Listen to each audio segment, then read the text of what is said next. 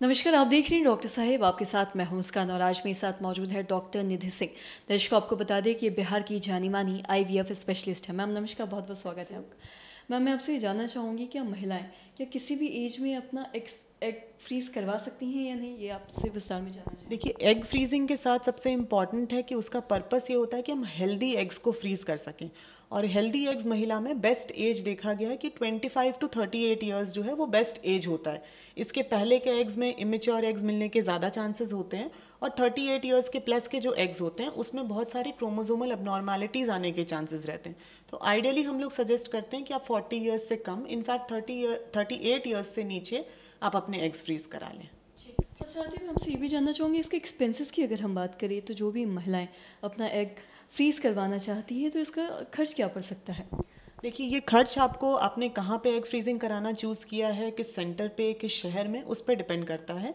But मोटा मोटी अगर हम बताएँ तो जो आमतौर पर एक आईवीएफ साइकिल का खर्चा होता है, लगभग एक से डेढ़ लाख रुपए इसमें खर्च आता है। और इसके अलावा आपके पर ईयर रिन्यूअल फ़ीस लगती है। जैसे कैसे, किसी भी इंश्योरेंस की आपकी एक प्रीमियम होती है जो आपको ईयरली पे करनी होती है। तो पहला पार्ट होता है कि हमने एग्स ये किए कलेक्ट किए और उसको फ्रीज़ किया। उसके बाद उसको हम लोग कंटिन्यूसली लैब में मेंटेन करते हैं। तो जो फ्रीजिंग का पार्ट है इनिशियल पार्ट उसका खर्च एक से डेढ़ लाख आता है। उसके बाद आपकी रिन्यूअल वो आपके सेंटर पे डिपेंड करती है। वो लगभग पंद्रह से बीस पच्चीस हज़ार रुपये आपको सालाना लगभग फ़ीस लगती है।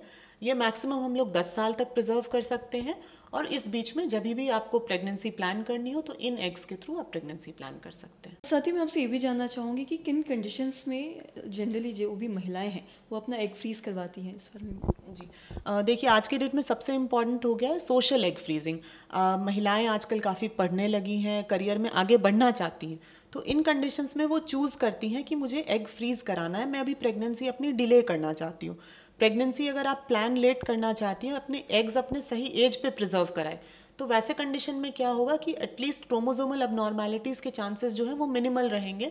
अबनॉर्मल बच्चे जो हैं वो नहीं होंगे। आपके हेल्दी एग्स प्रिजर्व हुए हैं, उससे हमें हेल्दी प्रेगनेंसी आप 40 इयर्स के एज में 45 इयर्स के एज में भी इनफैक्ट प्लान कर सकती हैं, कोई प्रॉब्लम नहीं आती है।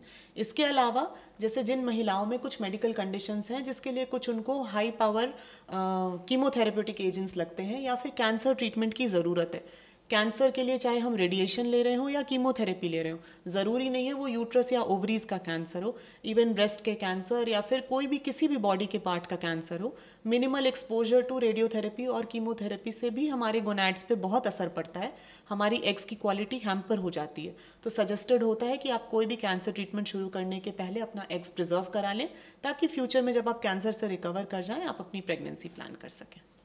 और साथ ही अगर हम बेबी की ही बात करें तो सभी की ये चाहत रहती है कि उनका जो बेबी हो, वो हेल्दी हो। मैं आपसे ये जानना चाहूँगी, एक हेल्दी बेबी के लिए जो भी गर्भवती महिला या जो भी प्रेग्नेंट लेडी है, वो क्या कुछ खाए, पिए, उनका डाइट क्या हो? देखिए डाइट में सब चीज़ों का एक बैलेंस होना चाहिए। सबसे इंपॉर्टेंट है कि हम लोग आ, किसी भी मात्रा में एक्सेस कार्बोहाइड्रेट्स ना लें एक्सेस प्रोटीन ना लें या फिर एक्सेस फैट ना लें। साथ में हाइड्रेशन बहुत ज़रूरी है। एंटीऑक्सीडेंट्स की मात्रा सही होनी चाहिए और साथ में फीमेल्स के लिए बहुत इंपॉर्टेंट होता है कि वो थ्रू आउट द प्रेगनेंसी एक डॉक्टर की गाइडेंस में कब कौन से विटामिन लेने हैं कब आयरन के टैबलेट्स लेने हैं कैल्शियम टैबलेट्स लेने हैं फोलिक एसिड लेना है इन चीज़ों का ध्यान रखें।